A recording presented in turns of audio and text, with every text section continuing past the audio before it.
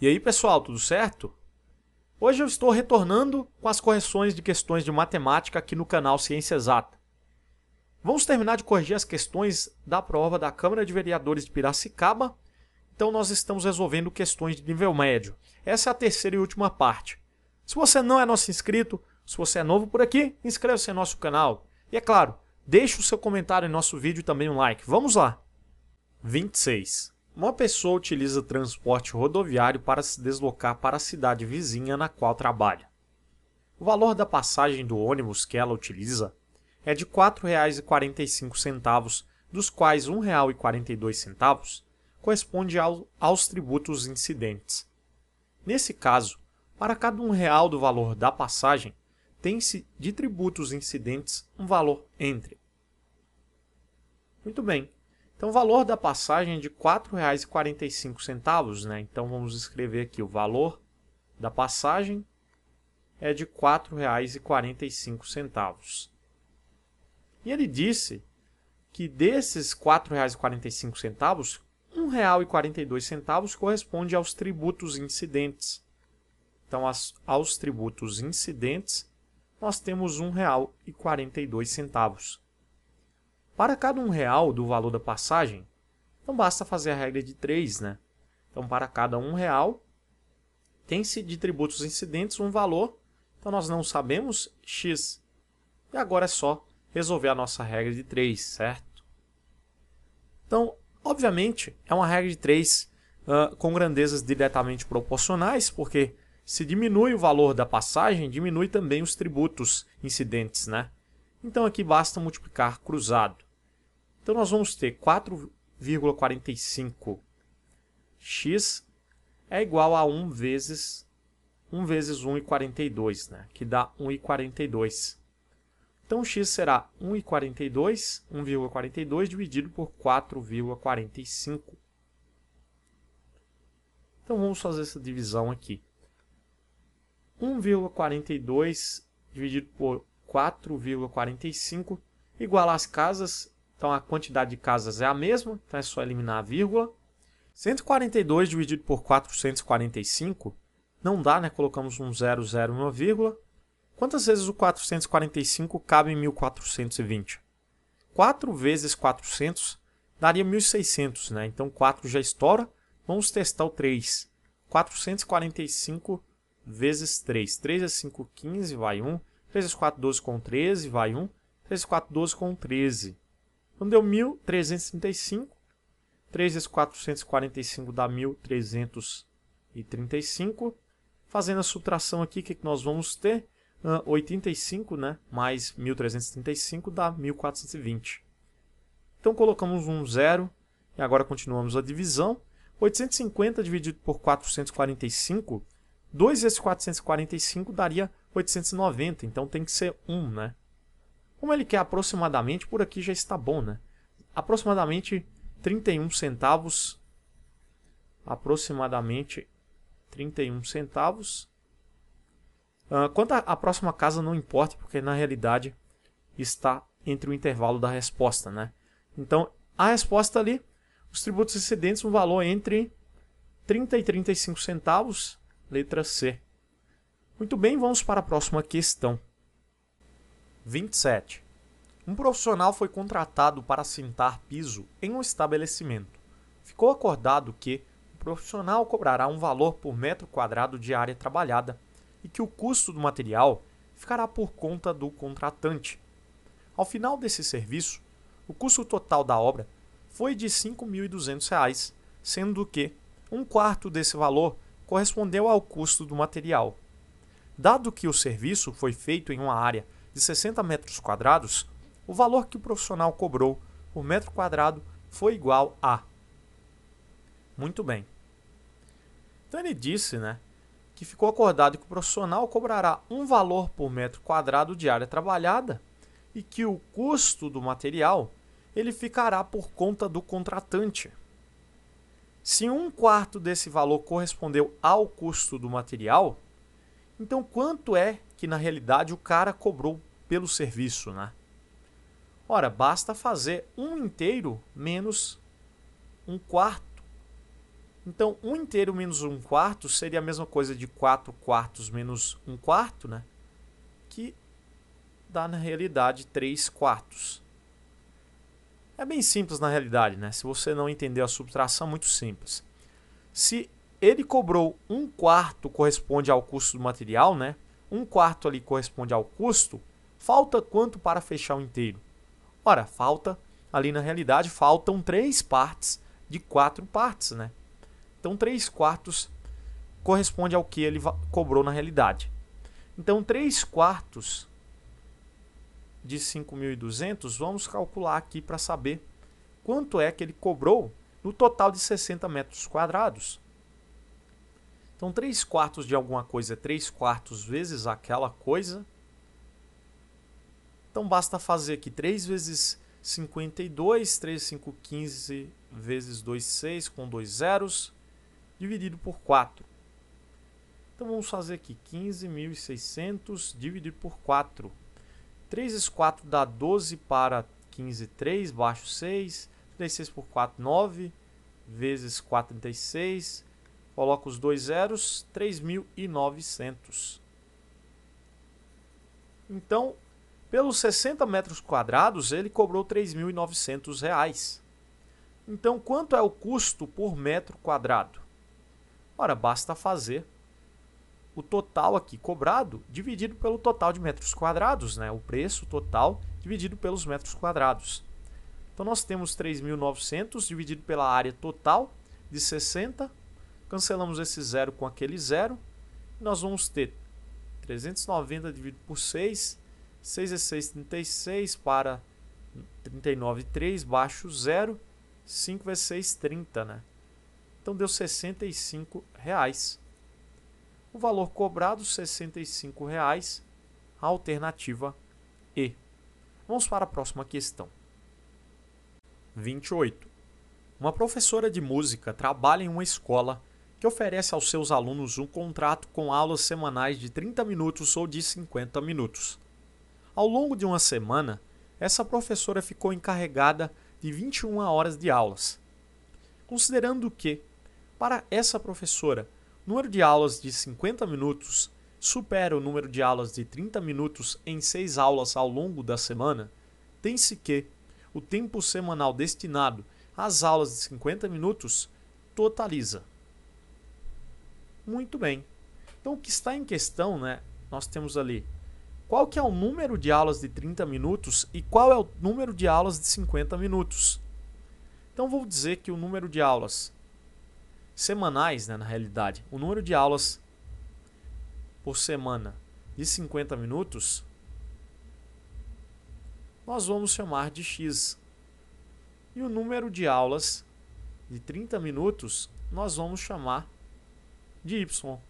É o clássico, né? Chamar de x e y que eu não sei. Ele disse que em uma semana nós temos um total de 21 horas de aulas. Então, para descobrir o x e o y, nós precisamos dessa informação. Tá? Como o nosso tempo aqui está em minutos, vamos, vamos passar aquelas horas ali para minutos. Nós sabemos que 21 horas equivalem a quantos minutos? Basta multiplicar por 60, né? Então nós vamos ter 21 vezes 6, 6 vezes 2 dá 12, vezes 1, 6, seguido de 1, 0. Então nós vamos ter 1260 minutos. Então eu sei que na primeira informação, o tempo total semanal, né, se eu fizer 50 vezes x, que é o número de aulas de 50 minutos, em 30 vezes y, que é o número de aulas de 30 minutos, isso será igual ao total ao tempo total de aulas da semana, né? Então sei que 50x com deixa eu só melhorar esse x. 50x com 30y isso resulta em 1260. E você sabe que para, um, um, para resolver uma equação com duas incógnitas, a gente precisa de uma segunda equação, no mínimo. Né? A segunda equação, nós vamos trazer ela a partir da informação que o número de aulas de 50 minutos ele supera o número de aulas de 30 minutos em 6 aulas. Quem é o número de aulas de 50 minutos? Ora, o número de aulas de 50 minutos é x, né? Então ele diz que x é igual ao número de aulas de 30 minutos, que é o nosso y, supera isso em 6 aulas. Então é igual ao y mais 6. Concorda comigo? Como ele quer saber na realidade quem é, tem-se que o tempo semanal destinado às aulas de 50 minutos, ele quer saber sobre esse cara aqui, né? sobre o x. Então vamos deixar ali, na realidade, o y em função de x para encontrar o x na primeira equação. Nessa primeira equação obtida aqui. Né? Se x é igual a y mais 6, passamos o 6 para o outro lado, então nós vamos ter x menos 6 é igual a y. Né? O 6 está somando, passou subtraindo. Ou simplesmente y é igual a x menos 6. Então vamos substituir na primeira equação 50x mais 30y é igual a 1260. Vamos substituir o nosso y por x menos 6. Lembrando que eu isolei né, o y em função de x, porque eu quero saber quanto é o valor de x. Lembrando, né, esse valor deverá ser dado em horas. A gente preocupa com isso depois. Muito bem, então vamos lá. Substituindo aqui, o que, é que nós vamos ter? 50x mais 30y. No lugar de y, nós temos x menos 6. Então, x menos 6, cuidado com parênteses, né? Nós devemos deixar o parênteses porque são dois termos. Isso resulta em 1260. Então, fazendo ali a distributiva, nós vamos ter 30x, 30 vezes menos 6 vai dar menos 3 vezes 6 dá 18, né? então vai dar menos 180, que é igual a 1260. Vamos passar esse termo para o outro lado, né? Está subtraindo, passa somando. E 50x com 30x dá 80x. Então, que é igual a 1260, passamos somando, mais 180. Então, 80x é igual 1260 com 180, nós vamos ter 1440, né? Então, x é 1440 dividido por 80. Para facilitar, vamos cancelar esse zero. 144 dividido por 8. Nós vamos ter 1 vezes 8 dá 8 para 14 aqui, 6, né? baixo 4. 64 por 8 dá 8, vezes 8, 64. Então deu 18. Então quem é x mesmo? O x é o número de aulas de 50 minutos. Se nós vamos ter um número de aulas equivalente a 18 né, de 50 minutos, então multiplicando por 50 nós vamos ter o tempo em minutos. 18 vezes 5, 50 com 40 dá 90, né? Seguido de um zero, 900. Passando para horas é muito simples, né? Uma hora tem 60 minutos, então basta dividir o tempo em minutos por 60 para transformar em horas. 900 dividido por 60, cancela esse zero com aquele zero. 90 dividido por 6, 1 vezes 6, 6 para 9, 3, baixo zero. 5 vezes 6, 30, né? Então deu 15 horas alternativa alternativa C. Espero que você tenha entendido. Vamos para a próxima questão. 29. O gráfico a seguir representa o tempo necessário em semanas para uma pessoa conseguir emprego no estado de São Paulo de 2015 a 2018. Com base nos dados apresentados no gráfico, tem-se que a média aritmética dos aumentos anuais ocorridos no período apresentado está entre. Ele quer a média aritmética dos aumentos, né? Média aritmética dos aumentos. Então, de um ano para o outro ano, o primeiro aumento aqui, 33 menos 24 é 9, né? Então, basta somar 9 a 24 para obter 33. O segundo aumento, 41 menos 33 é 8, né? Então, basta adicionar 8. E o terceiro aumento, 47 menos 41 dá 6. Certo? A média aritmética desses três valores, né? a média nós sabemos que é a soma das medidas soma das medidas dividido pelo número de medidas. Número de medidas. Então aqui nós temos quantas medidas, né? Ops. Nós temos aqui uma, duas, três medidas. Então eu devo somar 9 com 8 com 6. São os aumentos considerados. E dividir por 3, né? São três valores. Muito bem, 9 com 8 com 6, 9 com 8 dá 17, com 6 dá 23, 23 dividido por 3. Então, fazendo aqui 23 por 3, 7 vezes 3, 21.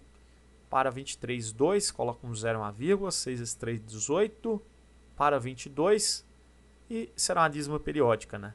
7,6. Então, ele quer o período entre 7 e 8 semanas, né? 7,6 está entre 7 e 8. Alternativa D. Muito bem, vamos para a última questão dessa correção. 30. O gráfico a seguir ilustra a distribuição dos usuários de uma rede social por faixa etária. Com base nas informações dadas no gráfico, a razão do número de pessoas cuja faixa etária varia de 18 a 34 anos para a totalidade de pessoas usuárias dessa rede social é aproximadamente. Ele não disse quanto é aquela totalidade, né? Vamos considerar como sendo 100 para facilitar, porque os dados, ali como estão em porcentagem, né, é, facilita o nosso cálculo. Então vamos considerar como sendo o total 100. Então, a faixa etária dada de 18 a 34 anos. De 18 a 34 anos, aqui está de 18 a 24 e ali de 25 a 34. Então basta somar, né? 34 com 33 dá 67. Razão é a divisão, né? Então, a faixa etária varia de 18 a 34 para a totalidade. Então, 67, né? Então, para a totalidade, que é 100. Então, razão entre 67 e 100. Se eu fizer 67 dividido por 100, né? Vai dar 0,67. 67 centésimos. Então eu posso testar cada alternativa. A razão encontrada 0,67. Então com decimal é mais fácil para analisar. Né? Letra A. 1 para 2, 1 sobre 2 é 0,5. 0,5 está um pouco distante, né? Vamos testar a letra B. 1 para 3.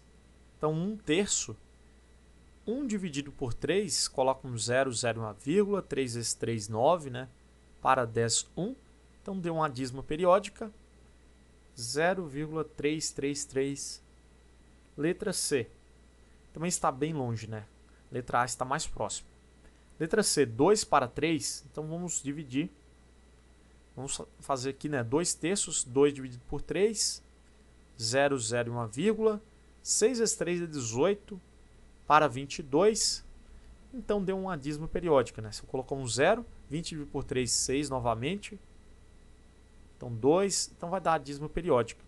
Eu até poderia arredondar para 0,67 aproximadamente. Concorda comigo? Então já vou escolher essa resposta. 0,67 aproximadamente. Alternativa C. Pois muito bem, espero que você tenha gostado da nossa correção. Inscreva-se no canal que em breve vou trazer mais correções aí para vocês. Um forte abraço e muito obrigado pelos comentários que vocês estão deixando em nossos vídeos. Um abraço e até a próxima.